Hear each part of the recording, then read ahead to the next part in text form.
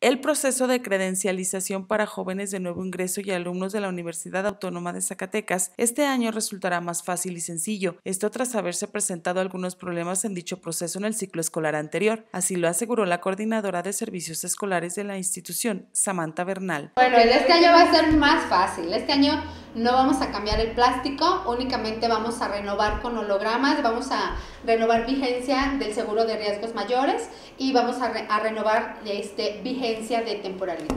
Explicó que a partir del 30 de agosto sabrán el número de alumnos que están debidamente inscritos en toda la universidad. A partir de ahí se estarán realizando dicho proceso para que tanto alumnos de nuevo ingreso como los que continúan con su plan de estudios en cualquier unidad académica pueda tener su credencial en tiempo y forma. Todo eso tenemos ya un, este, un calendario, lo hicimos llegar ya a las unidades académicas eh, ahorita todavía no han terminado las unidades de reinscribir y eso no nos permite hacer la, la renovación de vigencia de las credenciales, pero siempre la Asociación de Transportistas nos apoya eh, de manera infinita el, la vigencia de las credenciales.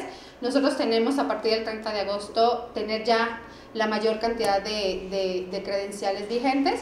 Vamos a, a, ver de que de aquí al 30 de agosto termine. Además, destacó que continuarán los descuentos en el transporte público, ya que se renovarán los convenios que sostienen con los concesionarios de las rutas. Todavía se mantienen los descuentos. Este, el, el convenio que firmamos vence el 30 de agosto de este año.